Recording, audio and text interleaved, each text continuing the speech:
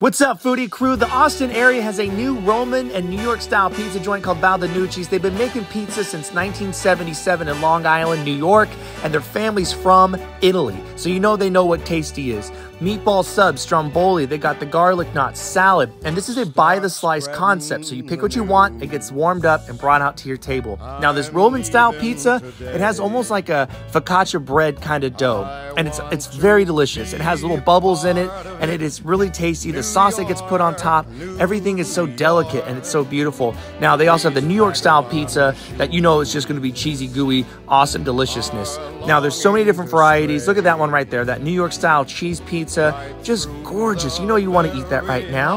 Go check them out. They're a new spot, family owned and operated. So many different options on the menu to choose from. Yeah, you know I had to eat it right out of the oven. That was a hot slice. Baldanucci's, address on the screen. Go get some gelato, go get some pizza, and enjoy yourself.